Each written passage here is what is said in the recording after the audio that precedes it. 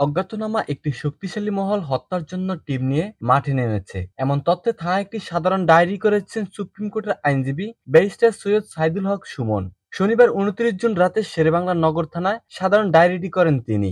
ডায়েরিতে ব্যারিস্টার সুমন উল্লেখ করেছেন, গত সাতাশ জুন ঢাকায় অবস্থানকালে রাত আনুমানিক দুইটার সময় আমার নির্বাচনী এলাকার চুনারঘাট থানার ভারপ্রাপ্ত কর্মকর্তা তার সরকারি মোবাইল থেকে আমার হোয়াটসঅ্যাপে ফোন করে জানান যে আপনাকে হত্যার জন্য অজ্ঞাতনামা একটি শক্তিশালী মহল গত তিন দিন আগে চার থেকে পাঁচ জনের একটি টিম নিয়ে মাঠে নেমেছে। আপনি রাতে বাইরে বের হবেন না এবং সাবধানে থাকবেন। তখন আমি ওসির কাছে অজ্ঞাতনামা ব্যক্তিদের পরিচয় জানতে চাইলে তিনি ওই ব্যক্তিদের পরিচয় জানাতে অস্বীকার করেন এবং আমাকে সাবধানে থাকার পরামর্শ দেন। এই বিষয়টি জানার পরে আমি মারাত্মকভাবে নিরাপত্তাহীনতায় ভুগছি।